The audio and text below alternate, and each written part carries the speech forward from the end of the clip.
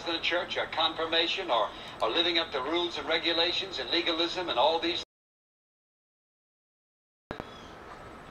This is the same Jesus in the same passage who said, I'm going to prepare a place for you. And if I go and prepare a place for you, I'll come again to receive it where I am, there you may be also. This is what he said. I am the way. Listen to that. I am the way, the truth, and the light. No man or woman comes to the Father except by me. Now, how do we come by him?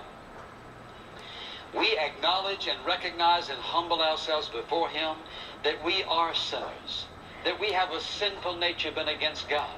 We are rebellious on the inside, and we need to be forgiven of our sins, and we need to be cleansed of our sin.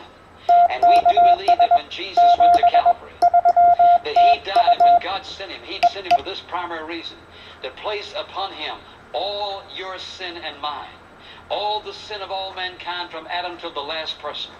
And every single person who is willing to ask for the forgiveness of their sin by faith in the Lord Jesus Christ's death at Calvary, asking for forgiveness, believing in Jesus Christ as the Son of God, and believing that He died for your sin. The moment you're willing to believe Him, the moment you're willing to receive Him, He says, But as many as received Him, to them gave He the power to become the sons of God, the children of God, and inherit the kingdom of God.